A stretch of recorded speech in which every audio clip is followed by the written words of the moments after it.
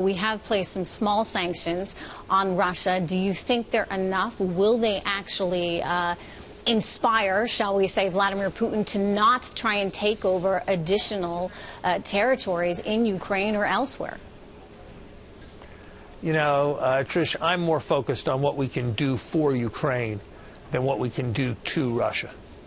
What's ultimately going to be most important here is whether we can support a democratic, outward oriented government of Ukraine in being effective in developing rising standards of living for the Ukrainian people.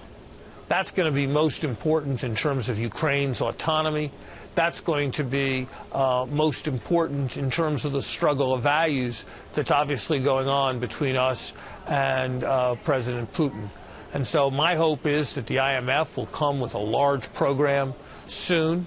My hope would be that it will be strongly supported and backed by the World Bank, by the European uh, Bank for Reconstruction and uh, Development, that Congress will move quickly to support our loan guarantees and to support our capacity within the IMF to uh, help uh, Ukraine.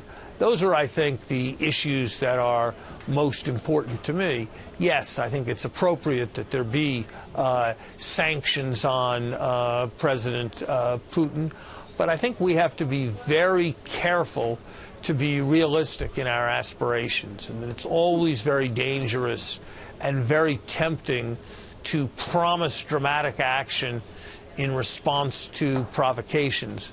But mm -hmm. great nations don't bluff and we need to be very careful as we provide uh, threats and as we make uh, announcements, even when it's painful, to limit our announcements and limit our uh, goals to what is achievable.